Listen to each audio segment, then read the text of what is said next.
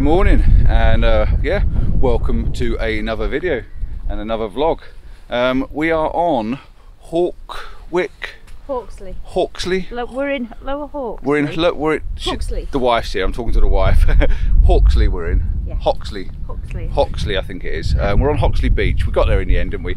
Um, yeah, we're here for sunrise. Look at it. Look at it. We're going to get an amazing sunrise, but we've never been here before. So we're in a massive dilemma. We don't know what to shoot. Um, the tide's out, so this is actually well known for this crag that leads out into the into the sea. But with the tide being out and on a low tide, there's nothing really up here now to sort of shoot. But what I'm thinking of is this bit of rock here. I like this bit of rock. You can see in the image just that. Oh, where are we? Just here. I like this piece of rock and I like the reflection. I like the sand. I like there's a reflection on the light over there. And I think this will probably make a start for the image. I can use this as a base. There's also a water line, and I'll just take you over and show you this water line. Um, like I say, we're just running out of time. It really is playing against the time when you're down for sunrise in a location you don't know. This wasn't my planned location. We had to change plans this morning because the other locations that we were going to go to were rocky. And again, I can't walk around in the rocks in the dark and not know it. And there's my other line. You see this? I've got a water line that's running through there again with reflections. So that water line I'm hoping is going to give you a, a nice sort of zigzaggy line out into the out into the light coming up. And there is potential for a really good sunrise because there's a little bit of gap in the cloud in the bottom lower end and you've got this higher higher cloud above us now. So potentially I'm going to get some amazing colour as the light comes up I'll run down closer to the beach but what I don't want to do is run down closer to the beach now and put footprints all the way down this sand because we're the only people here apart from a couple of dog walkers down the end there. Um, I might just get the camera out here because this it, to me is is quite is quite nice and a, bit more unique because it's just a water line whereas the rocks are always there. So yeah I'm going to get the camera out give it a go and uh, yeah I'll speak to you if it works. I've only got my little Osmo again because I'm trying the Osmo out. I want to try and see if I can get this thing to work properly and see if I can get to grips with it. Now I'll spin you around the other side. Now now you can see my water line leading out there. Um, yeah I just uh, yeah I want to try and get to grips with this little camera and this little microphone if I can because it's really really lightweight. It's not going to be the be all and end all but um, I do need to get used to it because I'm off to the Faroes in April and uh, or the Faroes should I say in April. And I want to I want something lighter and smaller to carry so right let's get the camera out while there's a little bit of colour in that sky. Let's get a shot off and then we can try and work about being clever after. So I'll speak to you in a little while once we've got the camera out and uh, some sort of composition set up. Excuse me. We are back on. Um, yeah I've got the camera set up. Here she is. Camera's out. Um, I tried those water lines. Um, I tried the water lines over there. It didn't look right. Um, you, you, had to get down low uh, to get the oh I'm just wondering where I've got the moon in. Let me go back to my picture. I just need to have a look and see if I've got the moon in up there. It must it's got to be in the image. It's got to be in it. It's got to be up there somewhere. Um, anyway I got sidetracked. Let's go back to uh, what I was saying. Yeah I've got the camera set up and I've um, I've plumped for these these rocks down in the bottom corner um, in front of me.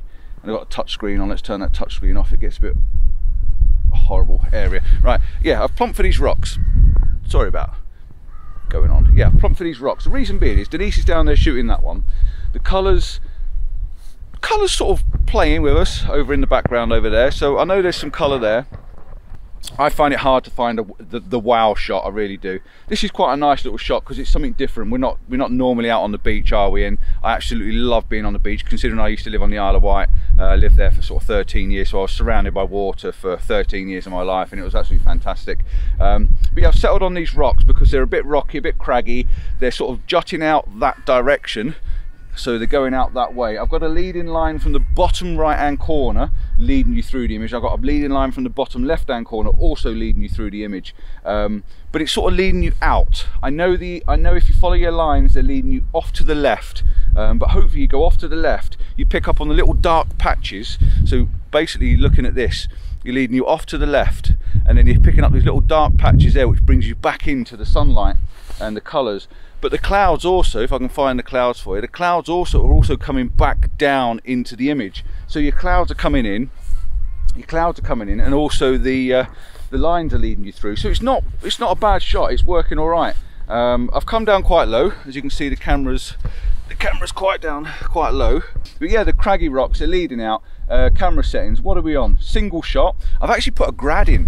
As you can see, I've actually got a grad and I don't use the grads very often but in this situation I really do think it needs it and I think it works. It's a hard grad and because you've got a horizon line dead prominent horizon line with the back of the sea line there's there's no mountains there's no hills for it to in, you know, intrude intrude into. There's no trees or anything. So it really does work and I just like this. It's quite a soft subtle mood to the image. It really is really quite nice. Now the biggest bugbear is I'm just going to pull that up a little bit because I'm a bit chilly. The biggest bugbear is um, because we've walked across the sand, I've got a few footprints in the sand because I was exploring over there first before I came here, and that's a real bad thing. I did say to Denise when we first got onto the beach, let's not walk across the beach because we are fresh air. so let's try and keep the beach clean and fresh. But there are footprints, they are actually leading you into the image, so I'll have a look when I get on the big screen, see if I can see them, and I'll be able to clone them out anyway. But yeah, it's quite a nice, soft, subtle, somber image, if that's if that's right. Um, I think I was on f7.1. Let me just have a look because I might change that. The colours changed slightly now. At the beginning, when I first started shooting, there was a little bit more colour on the on the water patch. There's a water patch just there, and there was a little bit of colour on that as well. But the sun's not up yet. Um, the sun's due to come up at a, about half eight, and it's definitely not half eight yet. So I'm going to knock the camera off. Histogram's looking lovely. That's not a bad little shot. So I'm going to go and have a look at what Denise has got, just purely because that was the first, the first composition really that we decided, oh, and a little useful tip. You can see my bag down there. You can see that. I've put the waterproof cover on it. If you're on the beach and you're on the sand, put your waterproof cover on it because then you can dump it on the sand. You haven't got to worry about sand getting into your zips. Unlike Denise, she's just bunged her. Look at this. She's bunged it on the sand. She don't care. it just saves you sand. Oh, where are you? Come back. I've lost you. Hello. Um, yeah, it just saves the sand um, on the bit and very nice. Very nice too. Yeah, I like that. Oh, she's always doing it, isn't she? Is that a long exposure as well? Yeah. Oh, she's been well in there, straight in with a long exposure. Only because. Blah, blah, blah. Can I give you a tip though? Yeah. Because you're my wife. You see where you've just caught the edge of the frame there with I the, know, with the lines? Yeah, but you, if I move it slightly further over, I get the other rock in, and that's why it's there. Right, okay. Look. Fair enough. Look, Yeah, no, I do like that because you have got a diagonal now, and now you've got a little bit of, tiny bit of breathing room on the edge of that. Um, yeah, we looked at this rock first of all. I'm not going to walk over there because I don't want footprints in it for, for for the good lady wife. She'll murder me. But yeah, this rock, it's got water around it, which is quite nice. So that's the composition Denise set up, and she's going. She's having a real mad week. Yesterday she's doing it, and today she's doing. it. Look, it's got a two-minute exposure on the boil. Look at it, Have a look at it. I'll flick you around so you can have a quick look. But it's only because. two-minute exposure. See, look, pumping away. So that's her oh, composition. need Pretty much there. The composition is. She's talking to me. Hang on. yeah. So I just wanted to get her, make sure she got this little light bit in here, and she's got this lovely little bit of water coming around here, and this little bit of crags just on the bottom there, which is sort of leading you through the image, and then she's got the colour. And before she's got these nice wispy clouds. And I'll put the image on now for her. Still might get if the light comes up in the distance over over in the back there. If the light does come up and just crest the horizon, it's going to be great. I'm to show you a couple of images, and uh, sorry for talking for so long.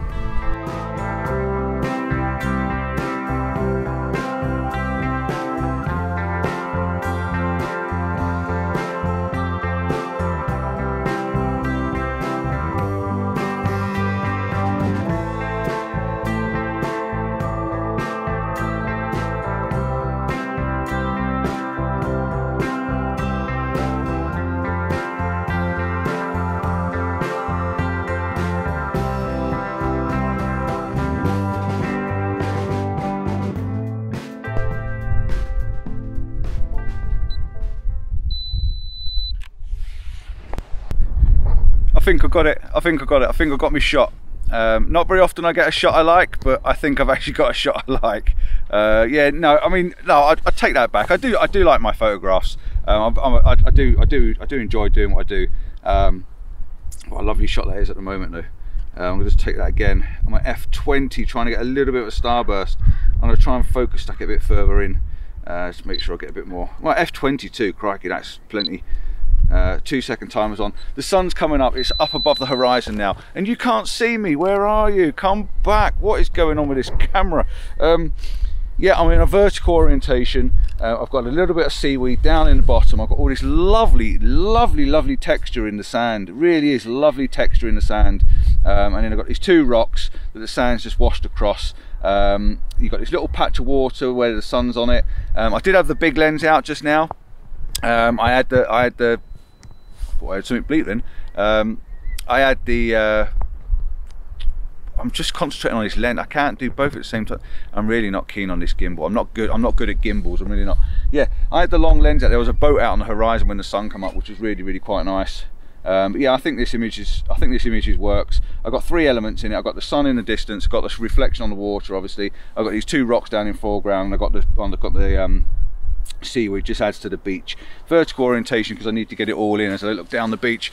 Um, you pretty much see if I'm going to spin you around and show you what it is I'm looking at. Uh, here we go, let's have a look. See what, yes, we've got this one down here. We've got this little bit of a seaweed. We've got the nice textures in the sand. We're going over to this rock there and it leads off into the reflection there and then the sun over in the distance. And I'm just going to hit the shutter button again because it might just get that one shot. Oh no, it's blurred never mind it was too slow too slow of shutter speed. I thought i was going to get the guy walking his dog in it as well. Um, and that would have been pretty cool. Right so let's flip you back round.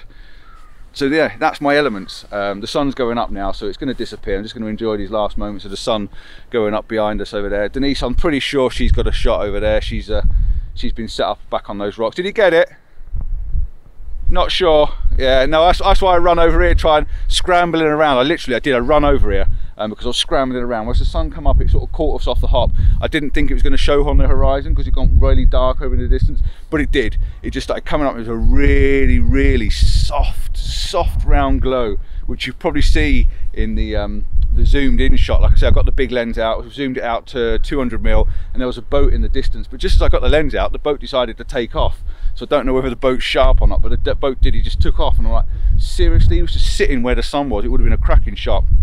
Um, these crags didn't work down here. They just I just couldn't get them to work quick enough. There wasn't enough foreground, wasn't enough interest.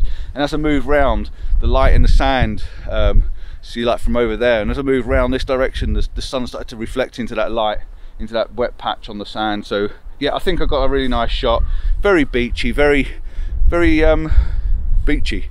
yeah, really, really quite nice. I'm gonna go over now and uh, stand and watch the last few minutes of the sun rising, uh, drink me coffee, see if we can go down towards the sea maybe see if we can set up a nice long exposure. Now the tide's come in a little bit see if I can set up a really long exposure while there's still a bit of colour left in that sky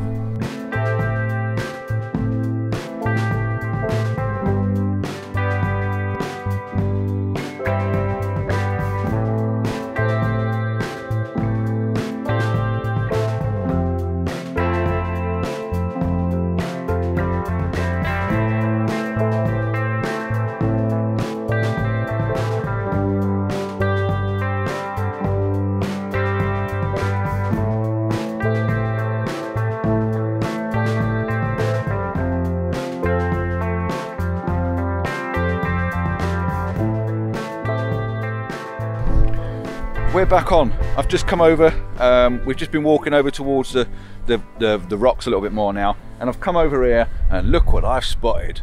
Fuji is going to make an absolutely meal of this.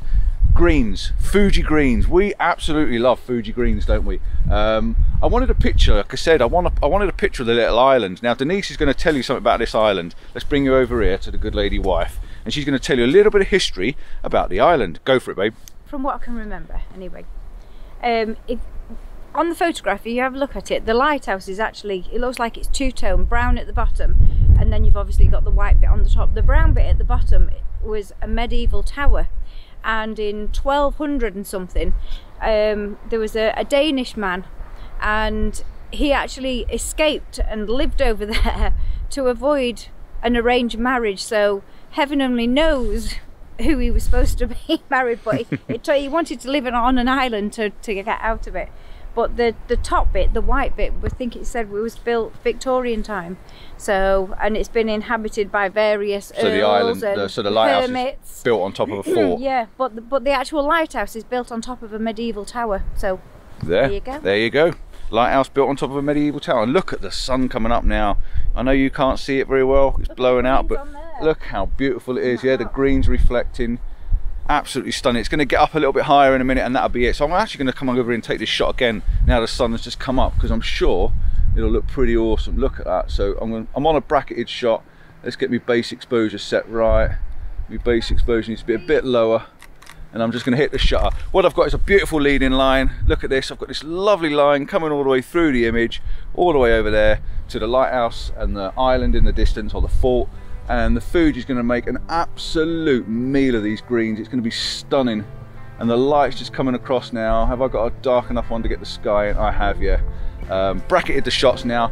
There's a little bit of wispiness left in the clouds. The colour's gone, but the sun's coming up and it's just going to be a beautiful morning. Um, still time to get a few photographs because we've got low light this time of year and it's just going to be really, really nice. So.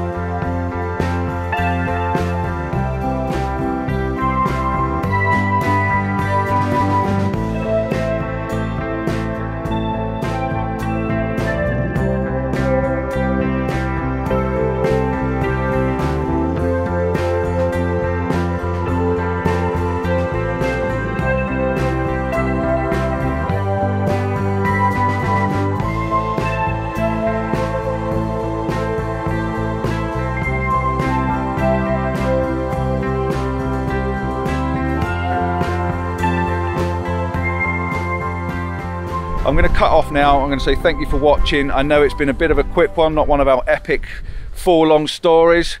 The wife's gunning me down with a couple of bananas. Can't really fault that, can I? So it looks like breakfast is on the cards. We've got banana. I've got my coffee down the side of me. Uh, not all down the side of me, but hooked on my belt beside me.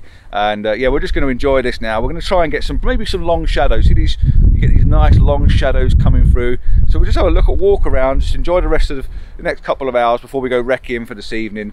And uh, yeah, we're just going to take it all in, lap it all up. So again, thanks for watching. Please like and subscribe if you're new to the channel. If you are new to the channel, get the notification bell down in this corner. Um, if you hit that little notification bell, it will um, just remind you. Look at the waves crashing over there. Sorry about that. Um, yeah, if you hit the notification, if you hit the notification bell down there, and I'm waving my banana around like a loose weapon, um, yeah, you'll you'll get reminded in the future videos. So yeah, thanks for watching. Tune in for the next one because we are up on the Northumberland coast for the next few days. We will be out Christmas Day, which you've already not seen, but Christmas has been and gone by the time you've watched this. But we are going out Christmas Day. Uh, what are we on now? 22nd, 23rd? Um, 22nd 22nd or 23rd we are today. I don't know i've lost track of the time. But yeah enjoy the next few few weeks of videos that's coming on from up this area and i'm waffling on now. See you soon. Ciao for now. As i waving my banana. Bye